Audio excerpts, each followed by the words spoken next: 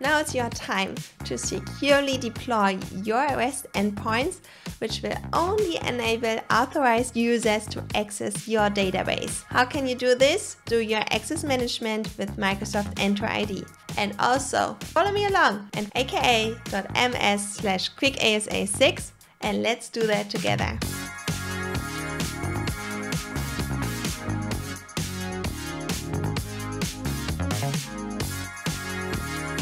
So to go from zero to hero, we either have to set up the project using AZD init, or we just clone the repository from GitHub.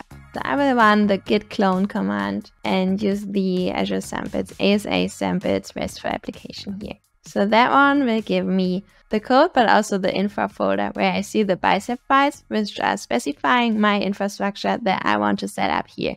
So I want to have my Azure Spring Apps cluster with Azure Container Apps under the hood, as well as the PostgreSQL server in the flexible option. So I will just cd into the folder and now run the Maven Watch Spring Boot run command to see if everything is working fine locally. You can see that our app is running locally perfectly fine. There's the RESTful APIs for our simple to do app, which are now available, but only locally, right? And we want to have it on the cloud. So let's create the cloud resources within the portal. So let's first search for Azure Spring Apps. And I will create a new Azure Spring Apps instance. I will create a new resource group and I will give my service a new name. And it needs to be a unique name. So I guess I'll call it Senra to do API and now I can select the region.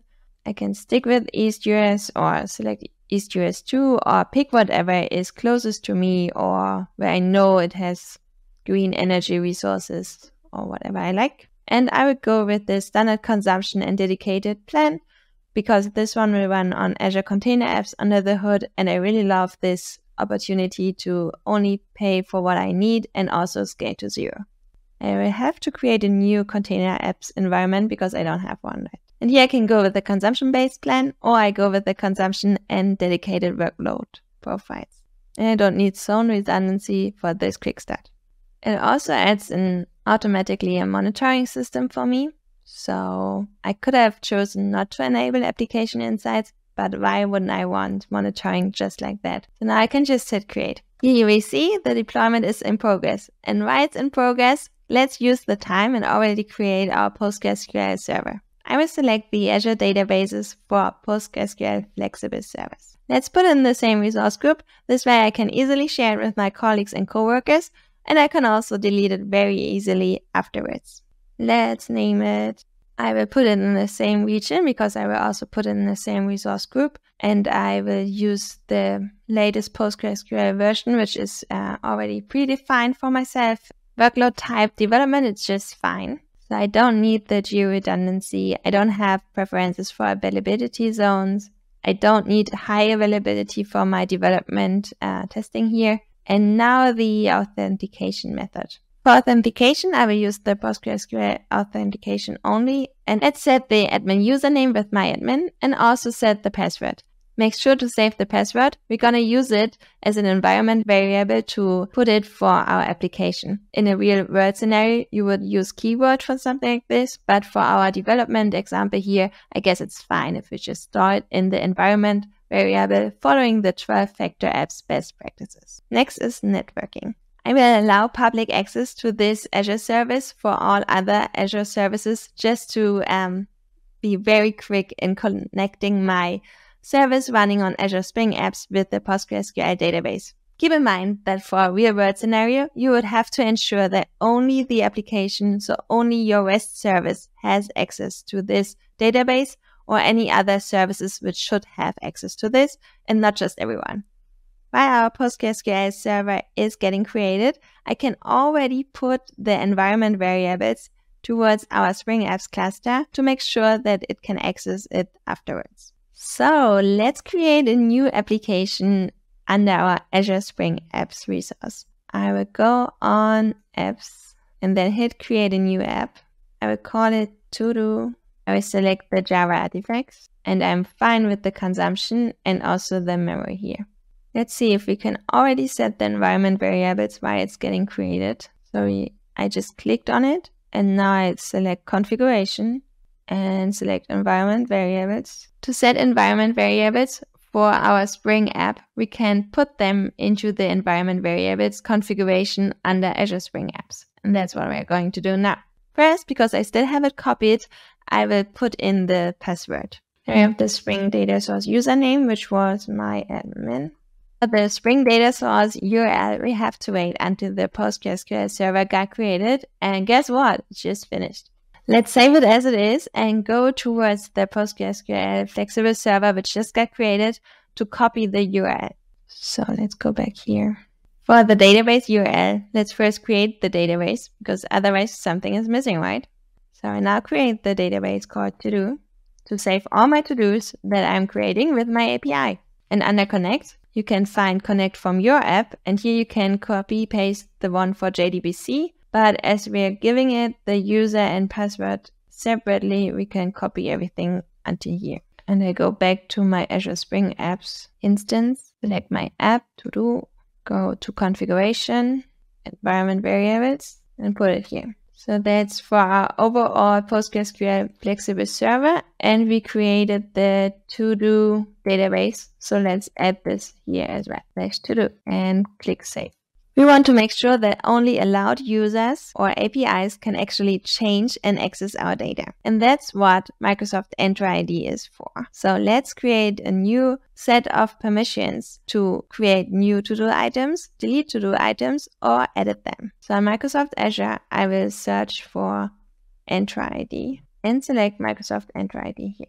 Now I will click on Add and create a new app registration. For supported account types, I will select the accounts in any organizational directory and also personal Microsoft accounts. I call it to-do service. And that's all I need to do to register. On the overview page, let's have a look for the application ID. We need to save the client ID for later. Okay, I copy that. Great, now under Manage, let's select Expose an API. The application ID URI needs to be unique. That's why it's suggesting me something. I can leave it as it is or I choose something a bit more meaningful but still unique. Click on save and continue. Okay, now I can use something like to do read. Read the to do data to do data. And let's add the scope.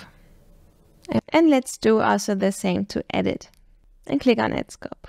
I want to create a new one also to delete and edit the data. And click add scope. Let's now update our application configuration so that our Spring service can actually use the Entra ID specifications we have just made. So under source main resources, you can find the application YAML file, which is already created for you. And here you can see that we need to specify the tenant ID, as well as the credentials client ID and the app ID URI. So let's find them together. I'll go to the portal again and click on overview here. So here we have the application ID, which is also the client ID. And then I need the app ID URI, and that's here. And here you can also find the tenant ID, the directory tenant ID. Let's copy that and paste it here as well. Okay, great. That should enable now our Spring REST API service to access the Entra ID specifications we've just done before. Wonderful! So what have we achieved so far? We already created our Azure Spring Apps instance in the cloud.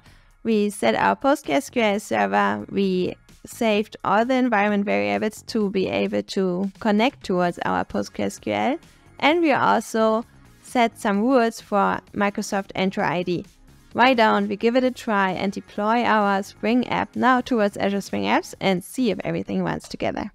Okay, let's now use the drag and drop experience to just deploy it super quick and fast. You could also do the same using the Maven plugin, but I would just go with drag and drop for now. So I select my Azure Spring Apps instance. I go to apps. And then here you can see next to the deployment state not deployed, deploy. And here I can easily browse for files or drag and drop the existing one. Great. Here you can find the ASA sample RESTful application and under target, my jar file got created and let's open the app and click on deploy.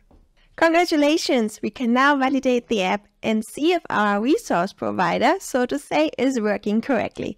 Of course, we secured everything using Entra ID from Microsoft Azure. So let's first enable another front-end application to actually access the application and validate if everything runs smoothly. I will need to register another application in Microsoft Entra ID to grant permissions to the client application, which is named to the web. So let's first register the client application. I will open up the Azure portal to do so. And here I will click New Registration and name it, for instance, to do. For supported account types, use the default value accounts in this organizational directory only. Select Register to create the application. Okay, so we successfully created the to-do web application. Okay, we should copy now the application client ID for later use as we have to register the API permissions. So I will go on API permissions and then click on add a permission and then my APIs and then I select my to do REST service and then here I have my to do delete, to do read and to do write because I want all these permissions to be added but you could also do it a bit more fine granular. So I will select all of them, the to do delete, the to do read and the to do write. But you could even make your choice, but to test all the endpoints, I will select all of them here and add the permissions. Now we click on Grant Admin Consent for default directory. That enables me to use all the deletion, reading and writing because remember, we advise that only administrators can execute these operations. Okay, so now let's add our user to this one. For that one, I will go to owners and then click on add owners and then select myself. And yeah, once I'm selected, I will appear here. So this one will make me to log in with my normal credentials here. You could have also specified a new user with username password. It's like you wish. So what we have to do now is copying the client ID of our to-do web app in Entra ID. We will need that to log into our Swagger UI later on. So now we go on the Azure Spring Apps page. So I find that under Apps, then select my Simple To Do API and here click on the URL provided. So and then I go on Authorize and I will only give it the client ID. Remember the one we, I've just copied from Entra ID. And then I select all the scopes and click on authorize. Now I have to log in with my user, the one I specified before. Great. Since I'm now authorized, I can use here the gets, puts, deletes. So, and since we don't have anything here yet, why don't we give it a shot and try it out? So I click on try it out and here on request body, I will just give it a name and say hello world and execute it. And here I get my response 201 hello world. So now I have three items in my list. Why don't we get all the items, right? So I will just try it out, the get request, execute, and there we go. So as you can see, I did some my lists earlier and now I could also delete it and I can play around with my API. How wonderful is that? We went from zero to hero. We deployed our application, our REST API on Azure Spring Apps. We have PostgreSQL in place and we secured everything with Entra ID. So nobody can access my API that I didn't allow to earlier. And we secured it all the way. So with Microsoft Entra ID, we are ensured that only administrators can read and delete and write new data into my to-do list and on the PostgreSQL server. And don't miss your chance to try it out yourself right now. Hop on aka.ms slash quickasa6 and write in the comments how it is working for you. And if you have any questions or you can't go further, use the comment. Happy coding and talk to you very soon.